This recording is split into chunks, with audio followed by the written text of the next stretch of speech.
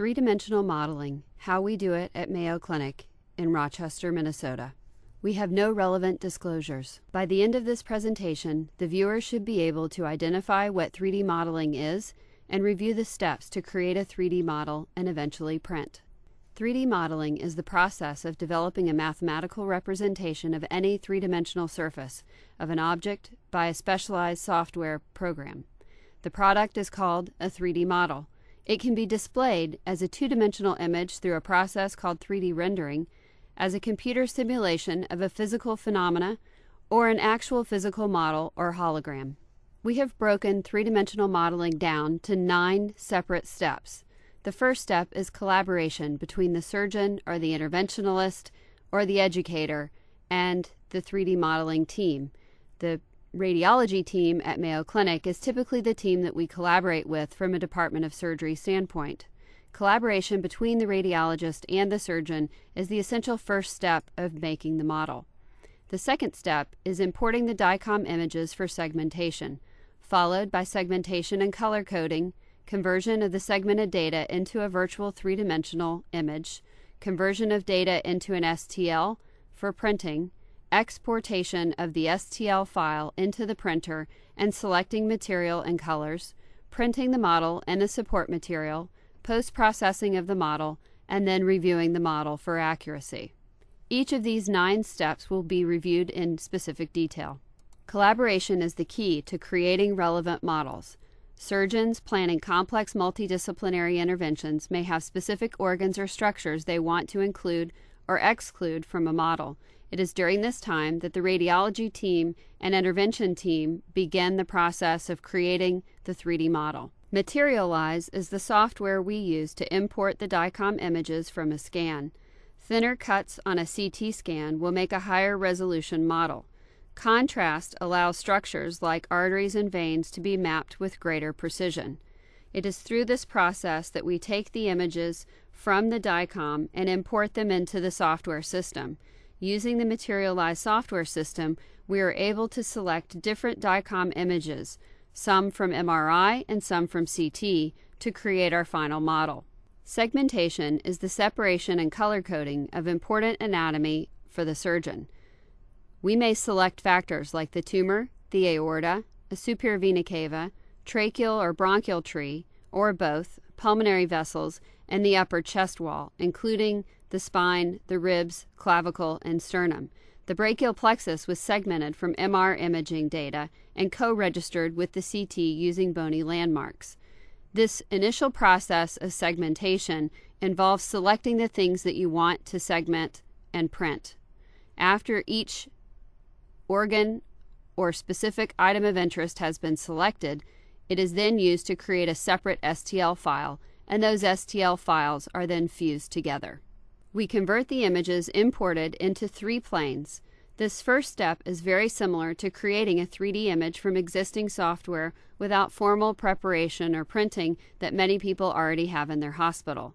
The steps that follow are required to fuse images from different types of scans, enhancing regions of interest and refining structures.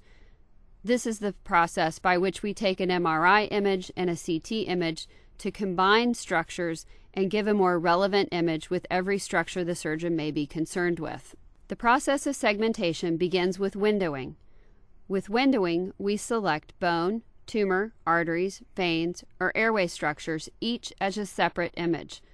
Each separate image file allows the fusion of a formal virtual 3D mask. We can segment from multiple sources. The best way to import images from the brachial plexus is using a sagittal T2 weighted MRI. Not all of the cuts have to be imported, meaning you do not have to import the axial or coronal images of the T2 weighted MRI. Simply importing the DICOM images from a T2 weighted MRI would be adequate for mapping the brachial plexus. We then line up these images with bony landmarks, allowing us to fuse the brachial plexus in with those images from our CT scan. We color code based on Hounsfield units initially. You can select dense bone for chest, aortic contrast, air, or certain soft tissue density. Thresholding is when you actually pick a certain Hounsfield value and then clean that image up. There are a dozen different tools you can use to segment different structures. Thresholding is one. Another is Region Grow. Region Grow highlights contiguous structures and allows you to select something such as air, and everywhere that air connects is highlighted, as seen in the image on the far bottom left.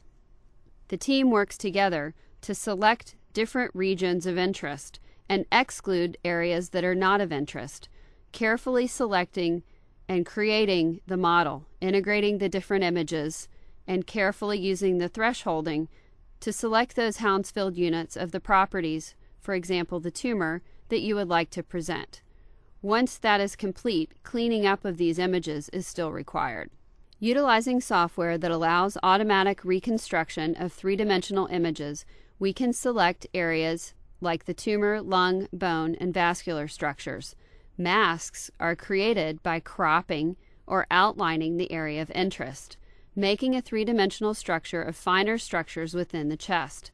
Separate three dimensional structures can be fused based on these bony landmarks. Each STL file is a separate color.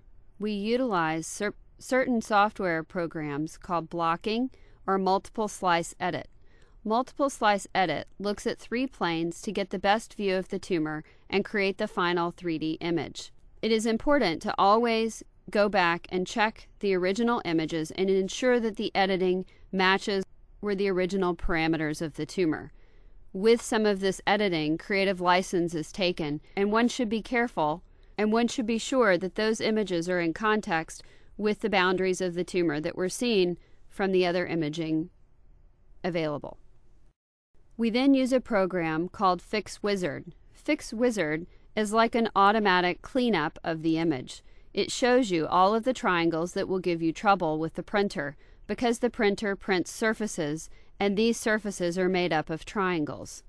If we take a step too far and want to go back and erase the last step, Control Z is the option that allows us to go back to where we were before. It is during this process that we use programs that allow for smoothing, which does constitute losing some detail but makes the image appear more like an organ, essentially reducing the pixelation of the 3D image. We can also use wrapping, which refines the image. When we have tiny, tiny, small, fine structures, you may not want to use too much smoothing or wrapping. However, when creating large structures like a diaphragm or the surface of a lung, one may want to use more smoothing to create an image that looks more like an organ. Once we export the STL file to the printer, we then select material and colors that we would like to use. The picture on the bottom right shows the multiple different color palettes that can be selected. Only one color palette can be used, but all of the colors on that triangular palette can be selected. We can select material that is soft and movable, or we can select material that is hard and plastic-like. The different types of material that we select will be custom made and chosen by the surgeon based on the need or the intervention that's planned. Sometimes when creating teaching models, it's better to create flexible material that the residents and learners can move to expose other structures of interest. Color coding the models is typically done specifically using red for the aorta, blue for the vein, and different colors that are customized to specifically display things like a Pancoast tumor, with the brachial plexus yellow, as most of us are typically used to seeing. We then begin the process of printing the 3D model. The particular printer that we use is a Stratasys Color printer. This allows us to lay down different polymers and expose the polymer to UV light, which hardens the polymer before the next successive layer is laid down. The printer will print just like a printer prints on a piece of paper, only each time it lays down either support material or the polymer that will become the 3D image. The 3D printed image with the support material will successively be laid down until the print is complete. Once the printer has completed the 3D model, it can then be washed so that the support material is taken away. Large models, like a Pancoast tumor, may take up to 50 hours to print. and the majority of the cost of 3D printing is associated with the polymer and the time. This video depicts a time-elapsed printing of a Pancoast tumor. As the spine and the tumor in black can be seen, the printing material initially was not a color model, and this was our black and white and gray model.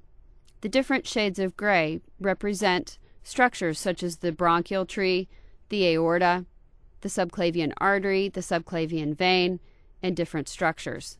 The tumor can be seen in black at the apex of the chest, invading the first, second, and third ribs.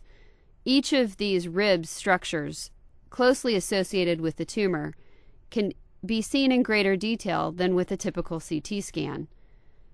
The T1 and T2 nerve roots can also be seen adjacent to the tumor. Once the model is printed, again, we can wash away the support material. A high pressure washer is used to create the final image of the model, washing the support material away. Hands are inserted through gloves inside the box to prevent damage of the user. The gloved hands can then be used to manipulate the spray and stream of water under high pressure that is utilized to wash away the support material. Once the model has been printed, we review the model in a multidisciplinary fashion. If this is a complex surgery where orthopedic surgeons, neurosurgeons, vascular surgeons, and thoracic surgeons are all working together, we meet in a room to review the model and plan who will do what parts of the surgery. We have found that 3D printed models are incredibly useful when presenting the specimen back to the pathology lab and properly orienting the specimen. We have also found that many of our learners find that it is incredibly easy to acquire the imaging and process the complex anatomy and learn the relationships of these structures in a way that they have never before been able to do. When teaching the complex anatomy and teaching what you're doing during the surgery, having the model nearby allows an easy and straightforward explanation to take place, whereas before we were often drawing on the drapes or showing different CT images. And often it is much easier to just point to the model to show the particular part of the surgery that is happening. We have also found that the 3D printed models enhance our ability to gain informed consent and show patients what we plan to do and how they may look after. One of the greatest opportunities I've had is to teach Pancoast anatomy to different patients and residents. We have now shown you all of the processes that are required to create a 3D printed model. The process of 3D modeling is complex and requires many different specialties working together. Alternatives to 3D printing include holographic projection, large monitor display of 3D rotational images of a segmented model, simulation, or the use of an interactive hologram.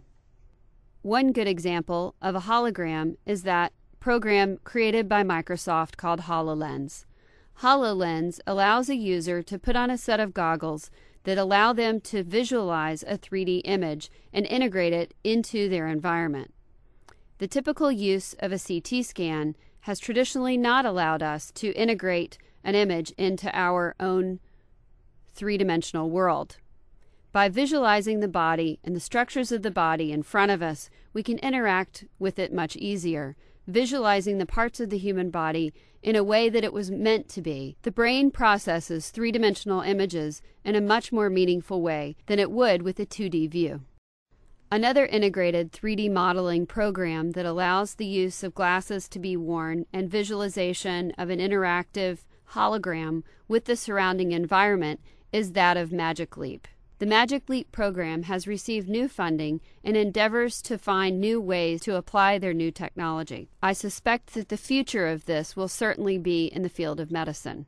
And in the words of Michelangelo, where he saw the angel in the marble and carved until he set it free, many surgeons, many other scientists seek to find the true meaning of how to offer patients the safest surgery, how to see the tumor inside the lung and whether or not it's adherent to the ribs or the chest wall, and how to carve out just enough, leaving the vital structures behind and doing the least amount of harm. Like Michelangelo, many of us thoracic surgeons strive to give our patients the best care we can, and it is through this new technology that I believe we will find new ways to do that. We'd like to thank you for the opportunity to present how to do 3D modeling, and we'd like to take a moment to recognize the work of Jane Matsumoto and Jay Morris, who work in the 3D modeling lab and spend countless hours dedicated to giving us these 3D models and allowing us to give our patients the best surgery possible. All of the teams that work together to create these 3D models make the difference in how we'll go forward in the future.